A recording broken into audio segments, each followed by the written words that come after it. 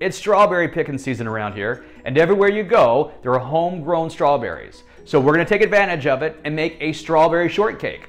We're gonna take our homegrown strawberries, slice them up thin, mix them with some sugar, let them sit for a while to create a syrupy strawberry mixture. Then we're gonna layer that on top of our homemade shortcake biscuits. We're gonna make our own dough, we're gonna roll it out, form our biscuits, bake them, and then layer our strawberry mixture on top, finished with our homemade whipped cream. It's another out of this world summer dessert. You're gonna love it. But before we start, if you haven't already, do me a favor and click the subscribe button for me. First step in our strawberry shortcake recipe, we're gonna slice up two pints of our homegrown strawberries into little slices. Once the two pints are sliced up into little slices, we're gonna add in some sugar and that's gonna help us create the syrupy strawberry mixture that we're gonna put on top of our homemade shortcake biscuits. Okay, that's two pints of strawberries. They were washed, we sliced them thin. Now we're gonna take a quarter of these and put them into our glass bowl. We're gonna take our fork and we're gonna squish our strawberries. We're gonna squeeze all the juice out that we can. This is gonna help our strawberry mixture. This is gonna mix, and try to release all the juices that we can. All right, let's drop the rest of the strawberries in with the ones that we mashed up. And then we're gonna add a half a cup of sugar. The sugar helps pull the moisture out of the strawberries to create the syrup that we're looking for to go with the shortcake.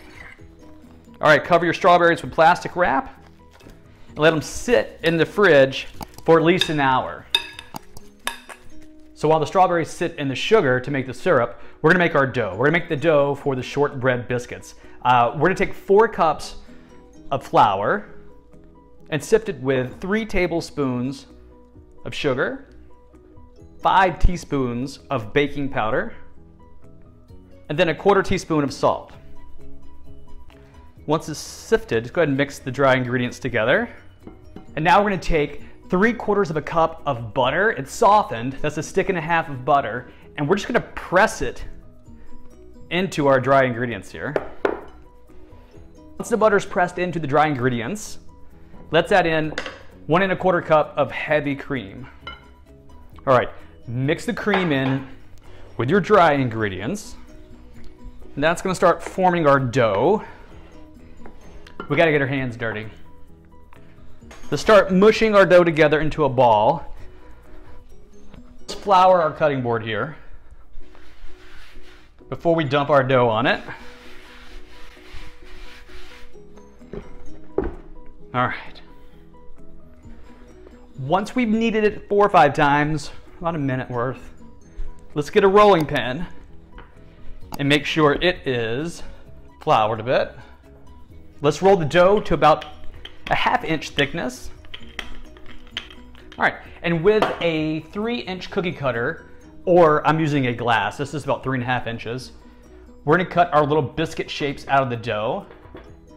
Now you wanna make sure you cut an even number of biscuits out because when we bake them, we stack them on top of each other. I dip the edges of my glass in flour so it helps the dough not to stick. So I have eight biscuits cut out. I'm gonna put four of them on an ungreased cookie sheet. And now we're gonna brush the tops of these four with a little bit of melted butter. All right, let's put the other four biscuits on top of these. This is gonna make it easier to spread the biscuits apart once they're baked. Brush a little butter on the top of these.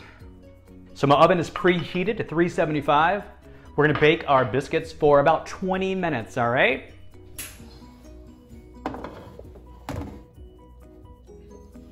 So while the strawberries marinate and the biscuits cool, we're gonna make our whipped cream. I get tips from you guys all the time, and God knows I need them. The biggest tip I get about making whipped cream uh, is that I should use cold cream, and also the bowl that I mix in should also be cold. So I keep both in the fridge until I'm ready to use them. All right, so whipped cream. We're gonna take a cup of heavy whipping cream, a quarter cup of powdered sugar, and a half a teaspoon of vanilla extract. All right, we're gonna mix this on high until we get our firm peaks. Whipped cream's done, strawberries have been marinated, biscuits are probably cool. Let's go ahead and construct our strawberry shortcake. So we've let our biscuits cool for about 15-20 minutes. The biscuits are still warm. You wanna serve them warm, uh, but not hot. So let's split the biscuit in two. And now we want to take some melted butter, and just like lightly brush the insides of both pieces. All right, we're making two layers of shortcake, berries, and whipped cream. Uh, we're gonna take the bottom biscuit for the bottom layer.